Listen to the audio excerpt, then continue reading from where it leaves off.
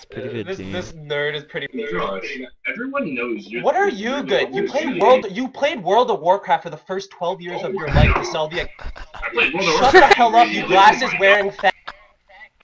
Let, let's I will to literally grade crush you. That's what a high school dropout would do. Listen, I'm fucking joking around, but I, if you're seriously pissed off, I'm gonna fuck you up. So you better shut your fucking. Josh, I fucked you up before. Stop talking shit. You never fuck. Come outside right now. Come outside right now. I dare you to come I'm the outside. mad one. I'm the mad one, boy.